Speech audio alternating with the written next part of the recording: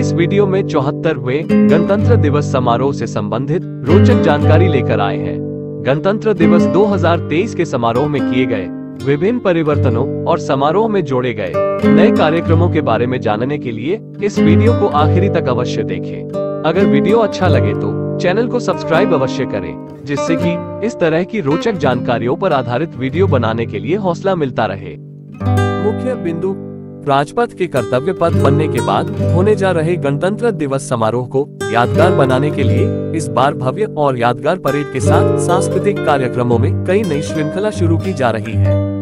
Rafale और Sukhoi समेत वायुसेना के लड़ाकू विमानों के आकाशीय कर्तव्यों के साथ पहली बार कर्तव्य पथ पर नौसेना का सबसे पुराना टोही विमान आई एल अड़तीस कर्तव्य पथ के आकाश पर पहली और आखिरी बार अपने जौहर दिखाएँगे। सांस्कृतिक झांकियाँ भी बदलते भारत के नए अंदाज और एहसास का अनुभव कराएँगी। विस्तृत जानकारी मिस्र के राष्ट्रपति अब्देल फतह अल सिसी चौहत्तरवे गणतंत्र दिवस परेड में मुख्य अतिथि होंगे और मिस्र की सेना के 120 सदस्यों की टुकड़ी पहली बार कर्तव्य पथ पर सलामी मार्च पास्ट का हिस्सा होगी। कर्तव्य पथ के गणतंत्र दिवस समारोह में दर्शकों की संख्या भले ही कम कर दी गई है, मगर इसमें जन भागीदारी बढ़ाते हुए वीआईपी आमंत्रण पास की संख्या में भारी कटौती की गई है। रक्षा सचिव गिरिधर अरमाने ने गणतंत्र दिवस परेड कार्यक्रमों के बारे में कहा कि कुल पैतालीस हज़ार दर्शक राष्ट्रीय राजधानी में कर्तव्य पथ पर भव्य गणतंत्र दिवस 2023 परेड देखने आएँगे। इससे पूर्व हर साल एक दशमलव दो पाँच लाख से अधिक लोगों को आमंत्रित किया जाता था और कोविड काल केवल अपवाद था, जब केवल पच्चीस हज़ार लोगों को ही आमंत्रित किया गया था। बत्तीस हज़ार टिकट ऑनलाइन बेची जा रही है और कुछ टिकटें काउंटर से भी जनता को मिलेंगी। जबकि वीआईपी मेहमानों को बारह हज़ार अतिथि पास ही जारी किए जाएँगे, जिनकी संख्या पहले पचास हज़ार से साठ हज़ार से भी अधिक होती थी।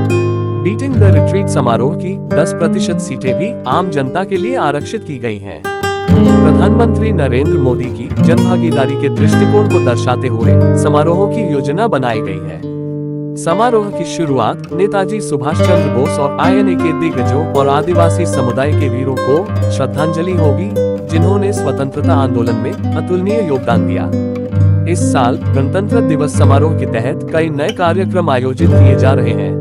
जिनमें मिलिट्री टैटू और tribal dance festival, Veer Gatha दो दशमलव शून्य, वंदे भारतम नृत्य प्रतियोगिता का दूसरा संस्करण, राष्ट्रीय युद्ध स्मारक पर सैन्य और तट रक्षक बैंड का प्रदर्शन, राष्ट्रीय युद्ध स्मारक पर अखिल भारतीय स्कूल बैंड प्रतियोगिता, बीटिंग द रिट्रीट समारोह के दौरान ड्रोन शो और प्रोजेक्शन मैपिंग आदि शामिल है।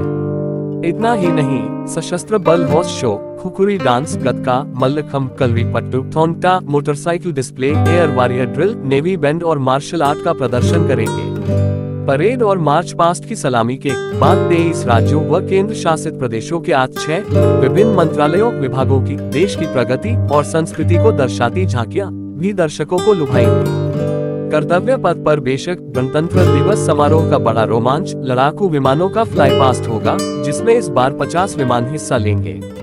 इसमें तेईस fighter jet 18 helicopter 8 military transport विमान और एक पुराना विमान होगा, और यह पुराना विंटेज विमान नौसेना का टोही विमान आई एल अड़तीस होगा। नौसेना के इस विमान को गणतंत्र दिवस परेड में पहली और आखिरी बार देखा जाएगा, क्योंकि इस साल के आखिर में आई एल अड़तीस विमान रिटायर कर दिया जाएगा।